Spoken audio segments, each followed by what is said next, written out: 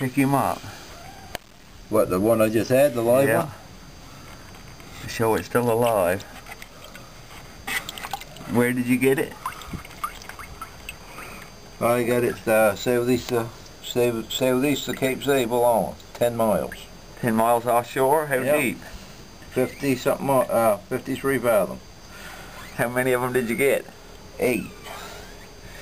Eight. And this is the first time you've seen them in Canadian waters. First time I've ever seen them.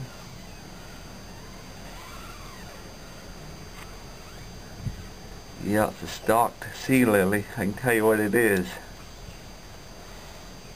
C1 would be common, but the C2 or more goes to show you Canadian Ocean is in for some major changes. That's for sure. That'll upset the ecosystem, or we're doing it actually.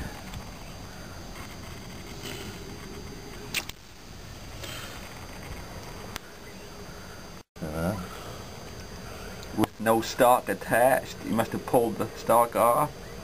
See the that's what they grab. That's what they grab to hold the ground line with that there. That's still, Oh yeah, yeah. still alive. Oh yes, yeah. He's still alive. It looks like it eats from both sides. Oh, that's his mouth there. Somehow, I believe. That's it's so fragile it is, look. Oh yes.